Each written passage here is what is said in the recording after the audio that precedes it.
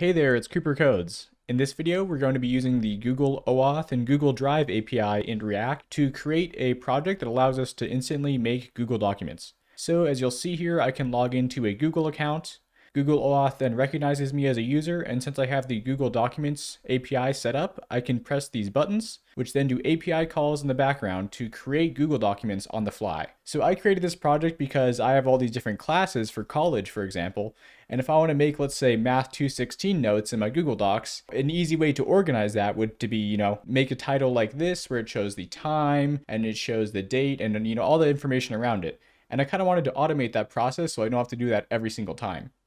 Let's get into how we can create this application. Creating this application starts with creating a React website that has Google OAuth 2.0 login and logout buttons. So Google makes this process really easy, but specifically for React, there are some JavaScript things that I've ran into myself, so hopefully I can show you guys how to make that super easily. And then also buttons to create the new documents like I was showing you guys before. And just to explain the issue again, so if I have a class, let's say Computer Science 223, I can click on the Computer Science 223 button to make a document for that class specifically. So let's take a look at how that would work. When the button is clicked, we can ask the Docs API to create a document and name the document CPTS223 Notes with the date and time. Then we go to the Google Docs API and use the docs.create document. I believe it's like docs.create, but still the same idea. And then we wait for that document to get created. Once we have this CPTS223 notes document that got created from the Google Docs API, we can redirect the user to the Google Docs page with the document ID. All right, let's recap this. There's a simple three-step process we can kind of think about. The user presses the Create CPTS 223 Notes button, we call the Google Docs API to create the document, and then we redirect the user to the new document after it's been created. Before getting started with any code though, let's hop over to the Google Developer Console so we can set up all the Google related things necessary for our OAuth. Alright, so go to console.cloud.google.com this is the Google Developer Console, so anything to do with Google APIs, Google Cloud Platform Services, anything like that, it's going to be handled here. First, we're going to start by pressing Select a Project on top left. Then we're going to press New Project in the top right of this thing, and give the project name something relevant to what you're doing. For example, I'll say Google Auth Video, and you don't really need an organization, so don't worry about that, and press Create. All right, so now we can press select project on this notification. Another way to get here is just by pressing the home button over here. From here, you're going to want to look up APIs above and then press APIs and services. This is going to allow you to enable different services for your Google Cloud project.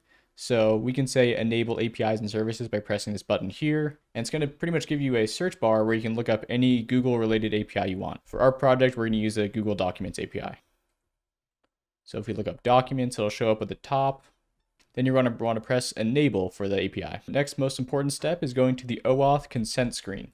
So what the OAuth consent screen is, is pretty much when you try to log into a Google project, for example, a little pop-up is going to show up saying, hey, this project wants to access the Google Drive API, or this project wants to access your Gmail emails. It's pretty much a screen that shows up to a user saying, hey, log in with your Google account here, and this is what they want. So for now, where our user type is going to be external, so you can just press this and then press create. From here, we can make the app name whatever we want. I'm going to say Google Auth video project. Then I'm just going to make the support email, whatever email I'm currently on. And I'm also going to make the developer thing the same deal, whatever email I'm currently on. And it's pretty simple here. All you have to do is name the project, put your two emails in, and then press save and continue.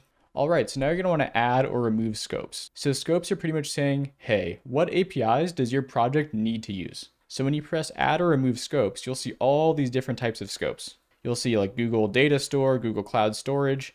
And since we enabled Google Docs, for example, we have all the different Google Docs APIs over here. So as you can see, the user facing description is if a user saw this in the consent screen, what would happen is it would say, hey, this application wants to see, edit, create, and delete all of your Google Docs documents. So that's kind of the basic idea of understanding these things. Just to be safe, I'm going to enable all the different Google Docs APIs for my project just so we have access to them.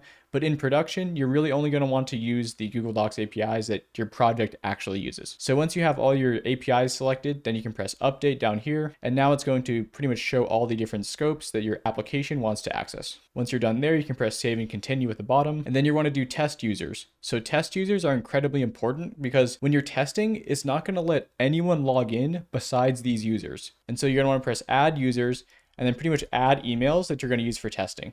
I have an account I already know, and so I'm going to put that email in, then I'm going to press add, Now, when I try and log in with this email, it will say, you're good to go. If I try and log in with anything else, it's going to give me an error and it's going to say, nope, you're not, you're not allowed to test this application. All right, now press save and continue once you have your emails in there. Okay, and then this is pretty much just a basic summary and we are good to go. We can go back to our dashboard. And so now when you have go back to OAuth consent screen, it should look something like this, which is super great. So now we want to create the credentials for our application. We can do that by pressing credentials right here. And so we can press plus create credentials right here to get started. And what we're going to want to create is an OAuth client ID. So pretty much this is something that says, okay, where are your requests going to come from, for example? So we have to say in here, okay, we are going to use a web application for this project because we're using React. And so inside of this, it says, okay, what are your authorized JavaScript origins? We want to say something like this, HTTP localhost 3000 because that is where we're going to be testing locally on our React. If you're using localhost port 3001, Make sure it's 3001, but the default for React is 3000, so I'm going to keep it there. Just to make sure the redirect URLs, we can do the exact same thing and do localhost 3000. This is pretty much saying, hey, if we get a login request that comes from localhost 3000, recognize that that's a good request for this project and that localhost 3000 request is good because if requests come from other areas google doesn't like that so it really needs to make sure that you have the correct uris here all right, now we can just press create on the bottom to make our web client. And so now we have this client ID and the client secret. Make sure you save these because these are super important and they're going to be used when you try and access the API. So now your web client is created.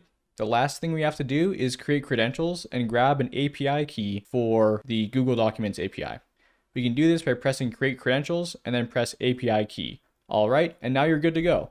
So make sure you save this API key somewhere safe. We're going to use it later, of course. All right, now we can get into actually creating our application. Okay, so make a folder for our React project to live in. I made this important stuff.txt just to, you know, handle all these important variables we're going to need later. So make sure you have a client ID, a client secret, and the API key. They showed up earlier in the video. And so yeah, let's create our React application by doing the simple npx create-react-app, and then the name of the application. I'm just gonna name it client to be simple. Now that that's done, you should have a client folder with all the expected React stuff in there. Let's go into our terminal and go cd into client.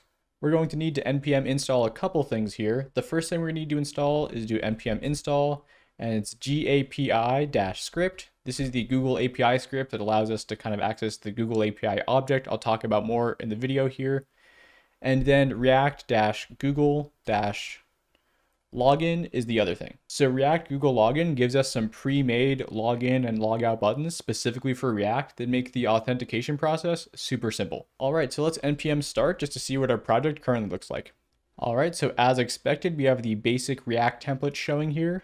We don't really need this base layer information, so we can go into our app.js under the source folder and then pretty much delete the entire header is what I usually do for almost all my videos because you don't need the boilerplate stuff. So if we go back to our application, it should be entirely blank now, which is what we'd expect. Now we're going to get started on the Google OAuth 2.0 authentication. So under our source folder, we can make a components folder. And I'm making a components folder because we are going to be creating two different components. The first one is login.js, and so you can make these files now if you like. You can make login.js and then logout.js. So these are the two buttons that are going to handle the login and the logout. All right, so let's get started creating the login part. First thing we're going to do is import React from React. The next thing we're going to do is say import the Google login button from the package we installed earlier. So react-google-login.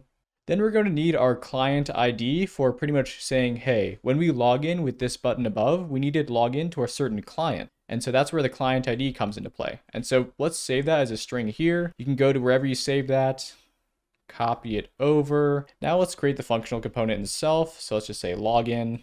And we get this out of the way now, we can do export default login, which is pretty much saying export this login functional component so we can use it in other areas like our app.js. And so now we can focus on what our login component is going to return. It's going to be a div that I'm going to give an ID. And then the div itself is just going to use this Google login component itself. So there's documentation behind the actual Google login component, but I'll show you guys what you're going to need. First thing is you're going to need the client ID property to be set equal to that client ID you made above. You're going to have some button text that we can just make login for now. Then we're going to have an on success, which is a property there.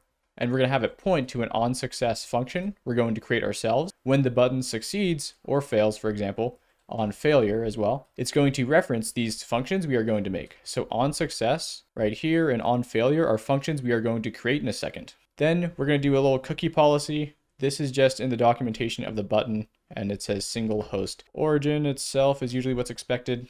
Also part of the documentation that I'm not quite sure is here, but they pretty much have is signed in is equal to true initially. And so those are all the properties that this Google login button needs. Now we can get started creating the on success and on failure functions. One of the first things we can say is const on success is equal to the response. And we're going to say console.log login success which pretty much means when the on success gets, you know, hit, that it gets hit, that means the Google login button said, all right, we're good to go. And so now we can say current user is equal to this. Uh, I'm just going to say res.profile object. This is just because I know what this response thing is, but if you didn't know what the response properties were, is you could either look at the documentation itself, or you could always just console.log res. It's a great way to debug these pretty fast. Now we're going to create a very similar thing for the on failure. So we can literally copy this entire function, say on failure, now we can change the message to something like login failed, and we can just show the entire response to our person here, or whoever is looking at this, so we can get a good idea of what actually happened in the failure. All right, so now our login button's fully made. We have on success and on failure both calling things, and pretty much if the user logs in, it'll say login success. If the login failed, it'll show that failed response. All right, so let's copy these first three lines of code here and bring them over to our logout.js because you guys will see logout is actually the easy part. So we're actually done with the harder part. So from here, we have to change the Google login, which is that login component, to now get the Google logout component, which is another thing supplied to us by React Google login. So as you'll see, this package is super helpful. Now we can go in here, make the function logout, and let's do the same thing by pretty much returning a div where the ID is equal to sign out button. Now we can go in here and pretty much say, okay, use that Google logout component that we got from above. And it's only going to have three different properties. The first one is that client ID, which as you guys will see is super crucial in a lot of these different things. Now we're going to have the button text, which I'm going to set equal to a string called logout. And then this one's kind of weird, but pretty much on logout success is the property they use. And we can call an on success function. Now we actually have to create that on success function. So let's go up here and say const on success is equal to, in the documentation, they didn't use a response here. So I kind of just followed suit on that because all you really have to say now is, okay, the logout is successful. And you kind of have to trust that the React Google login uh, library is doing its job because a lot of this authentication is kind of happening in the background is like something I haven't really brought light to. It's almost, you know, magical how the Google API works where now that we have this login and logout and a lot of the more complicated authentication logics happening behind these Google logout and these Google login components, we now have a full authentication system on our application. So now we can get started setting up our app.js. So bring that const client ID string over. Uh, I'm going to change the naming convention just because we're in the main app.js here to client underscore ID. I probably could have done this before, but eh, it's too bad. Now we're also going to want to save the API key, which is super important. So wherever you saved your API key, you want to go there, copy the API key, bring it over to your app.js, and then make it a string. And then another important thing, which is kind of going to help us out in a part I haven't explained yet, is something called scopes. It's pretty much saying, okay, what APIs is this application trying to access? What should we authorize it for? An important thing for our application would be this drive scope. And so we can pretty much put the screen string here saying, hey, in the scope of this application, we want to use anything related to Google Drive. Uh, to clear up any confusion between Drive and Documents, the Documents API stuff I want to use pretty much says this. If you have Google Drive authentication, you can create documents. If you have Google Docs authentication, you can also create documents. A lot of different things in Google's APIs are like that. A great example of this in actual documentation is look at this Google Docs create that we're going to be using eventually. It says, hey, look at these OAuth scopes. And if you have any of these, for example, if you have the documents one, or if you have the drive one, or the drive.file one, you can pretty much use documents.create which is the method that is being shown here. So this is just a great example of showing you how that actually works from Google side. So at the top of our application, we can import that login button we created from dot slash components slash login. And then we can also import that log out button. So you can pretty much copy that line over, do log out instead here. And now you have access to those two things. The next thing we're gonna need is an import statement grabbing that G API. So this is the Google API script. The thing with the Google API is that it has a client overall, kind of like something that's running on top of your React application. And since that client exists, we have to initialize that client whenever our application starts. And so one way we can do that using functional components is bringing in use effect. So we have to go from the top here and you pretty much have to say import react comma, then use effect as well is another important part of this thing here. And what use effect is going to allow us to do is when the application starts, we want a certain start function to run and use effect is what helps us do that. So we can do a little arrow syntax here to pretty much create our use effect hook. And now we're going to create the function that starts our Google API client. So in this start function, we're going to start using that GAPI object I discussed earlier. So we're going to say GAPI.client, that client I was discussing, and then init, so initializing the client. When you initialize your client, it needs a couple of things. One property it needs is an API key, which we saved in our API key const above. And it also needs a client ID, which we conveniently saved. As you guys see, I did this a certain way on purpose. And then we also need a scope, which we can reference by saying scopes, that const we made above. And this function is pretty simple. This is all you really need here. Now the super important part of this use effect is this. We're to go down and say gapi.load, then we're going to say client and then auth2. And so, you know, everyone says Google OAuth 2. Oh, it's so complicated, but literally it's just the same load. And then you say auth2. So don't get too worried, guys.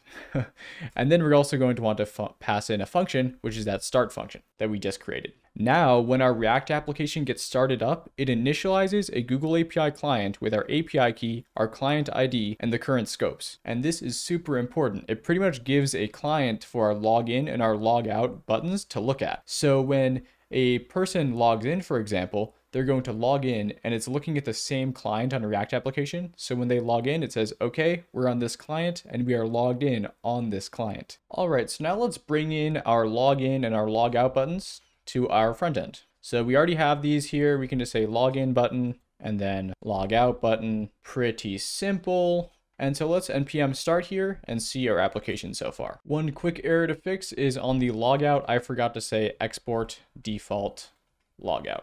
So put that in there and then your application should run. All right, so this is great. It looks kind of clunky for now, but if you inspect element, we should be able to see some console logs when we log in, for example. So we can say log in and make sure to go to the email that is your test account. For example, I made it this one. And so it's going to say Google hasn't verified this app, which is even going to happen for test accounts as well. You're going to want to press this continue on the left. Then it's going to say, okay, this person wants to see, edit, create, and delete all of your Google Drive files. Sounds pretty serious, but let's let him do that. All right, and so what you should be seeing here, which is super great news, is login success, and then it shows the current user and even that, you know, resulting object, which is super great news. This pretty much shows that our login and logout authentication system works. The only thing we have to test now is the logout button, so press that, and it should say logout successful. And then we can log in again if we wanted to, and Google actually recognizes that we're already logged in, which is super cool. So we don't have to do the extra, or we already have logged in, so we don't have to do the extra Google Drive steps again, which is pretty neat that Google's added that functionality. So let's go back to our app.js, and we're going to pretty much create a simple button. This button is going to pretty much be the button that we click to create the Google document file. So we can say on click, uh, make a little arrow function and set it to a create file function that we are going to create.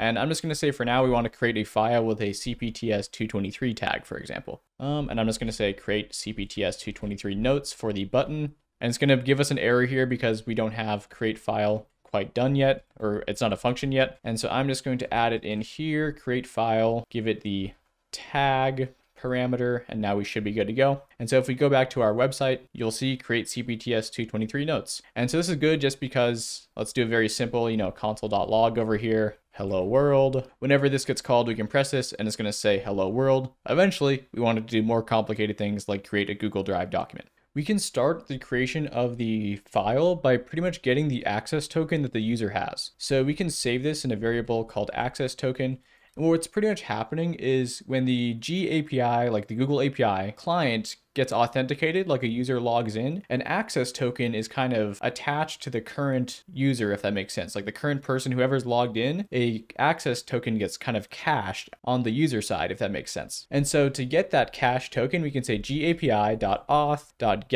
token.access underscore token. And this access token is the perfect thing we need to actually make a Google API request for a certain user. So from here, it's just the actual API call. So it's going to be a fetch, and I'm just going to copy in this link. It's going to be a fetch to the V1 Google APIs, so that pretty much Google Docs V1 is what I'm using. And then it's going to have a method of post, and then we're going to have some headers in there as well. And we're going to use a headers object, and we're going to say all right, authorization, and this header is super important because as you'll see authorization, it's gonna say bearer, which is very common kind of token syntax. And then we're gonna add the access token to it. And in the Google API itself, or in the Google API documentation, it's expecting this authorization to be in a very certain format. So make sure this is just one space and make sure your access token is on the right and that bearer is on the left. And so this is a promise. And so we can use a then statement to get the result of the promise here. Oh, and then this should be an arrow function, so we need the result like this. Then we're going to return the result into a JSON, which makes it more easy to use than the next dot then statement. And so we can take this uh, function, get that value from it. And now we're going to have this response from our actual API call. And so in this response, we can say something like console.log val just to see what's happening. But this value is going to have a bunch of different things. For example, we're going to have something like console.log val.document ID. And this is pretty much saying, okay, when we post to the Google API and we go to this documents thing under this certain user's access token, we are pretty much saying, hey, create a document under the Google Documents. Right now, it's going to have no title, it's going to have nothing, so we haven't done anything specific to it. It's just going to make a blank document for a certain user. And in the documentation, that's what it says. If you post to this API endpoint, that's what's going to happen. And so it's going to give us that response of pretty much saying, here is a document, the blank document that's been created. And so now that we have a button that actually can call this create file function, we can go into our React application and see this working. Also, super cool thing is I don't have to log in every single time even when I refresh my React page, it's going to say login success, current user, because Google kind of has my login cached, if that makes sense. And that's something that the Google stuff does. I didn't make that myself, so it's super cool. All right, so now if we press this create CPTS 223 notes thing, it's going to show us, look at this. This is an untitled document that was been created by the actual API call itself. And so if we go to this document ID under the uh, account I'm logged in under, so as you guys can see, the Google API just created an untitled document for the account I'm logged in under, which is super cool. It's pretty much showing that the full authentication is working even with API calls. So this is more of a React and Google API tutorial. So I'm going to copy over some functions that are going to help us get the current time from our client. So pretty much all you guys have to know what's happening here is we have a get date string, which is going to get us the date, and then a get time string. And so this is going to help us create a unique name for our document so it's not just untitled document. So I can go in here and let's create a file name. So I can say, okay, file name is equal to the tag above. Then I'm going to add notes. So like CPTS 223 space notes. And then I'm going to say get date string. And this is a great example of how you can use helper functions in your React code. You know, React is just JavaScript. So if you need to make functions, go ahead. And I'm going to go in here and I'm going to get the date string and I'm also going to get the time string. Just to go over what these functions do really quick is it uses the JavaScript date object, which already has a bunch of built-in functions. And so it just does some very basic date object stuff. Feel free to copy these, pause the video here if you like. And so now we've pretty much created a full file name. There are better ways to do this, I believe. And if you look into the fetch API, you can look at like URL parameters or something along those lines. But Google allows us to do this. It's expecting a title parameter in the URL. So what you can do is you can say question mark title is equal to, and then we can add our file name to this string. So this is kind of a strange way of doing it, but this is also what Google's expecting. And so I wouldn't say this is terrible practice because we only have one parameter. It kind of makes things simpler and it's kind of easy to tell what's going on is saying for this link, make the variable title equal to this string we've created here. Whenever we make a call to the Google Docs create document API, it's now saying, hey, create a document, but also use this title variable to change the name of the document we're trying to create. So if we go back to our React application and let's just refresh, going to log me in again, just to explain that it's cache that I existed before. So it's logging me in again. And if I create my computer science 223 notes again, all right, we can go to my drive and you can now see a more complicated name's been created, which is super cool. So it has the current date and it also has the current time. And so that's pretty interesting stuff. Now I can pretty much automate the process of creating Google Documents and show the current date and the current time if I want to take notes for a certain class, for example. A super cool thing we can do is once we reach this part of the then statements, so the very last then statement, we know that our document has been fully created. We can do some pretty cool JavaScript to make the new document that's been created open up in a new page. And so we can use the window object here and say dot open to do just exactly that. I'm going to copy over this string, but just to explain this really quick to you guys, it is saying window.open this document and then say the value of the document ID. And so this document ID is that thing that was in our console for a while. Let's see here. It's uh, the thing that's right here. And this is an actual document ID. If I go over to these notes that were created before, you'll see there's this huge string here, and that's the exact same document ID. And so you can use that logic to pretty much say, hey, open up that newly created document, and this slash edit at the end is so it's opened up in edit. And then underscore blank is pretty much saying open this up in the next tab. And so this window.open stuff is pretty cool. It's going to allow us to pretty much open this newly created document instantly for the person, which is super nice. So now if we go over to our React application, and then we press create CPTS 223 notes. When it's done, it's going to create those newly created notes in our new tab. To kind of finish this project up, we can go back to app.js and then create a couple other buttons for some other classes. Philosophy 201, for example, computer science 360. And now, as you guys will see, we are going to create tags, because remember this parameter right here is the tag of the file. We can create tags that are unique to certain classes. And so if we go back to our React application, if we press on the create philosophy 201 notes, it's now going to create a Google Doc that says philosophy 201. If we want to create computer science 360 notes, it's going to create a Google Doc for computer science 360 and then current time, current date like before. So this is pretty much the full application. We have Google login and Google logout, and we also have the ability for our users to use a certain Google service. In my example, it's Google Documents, but for whatever project you're creating, the process should be relatively similar. The only thing that's going to change is the actual API route you're kind of going to. All right, so hopefully this video was helpful in helping you guys understand how to set up Google OAuth specifically for React and also helping you guys understand how to make those API calls and then also handle the results of the API calls to do cool things like open up the document in a new page. All right, thanks for watching.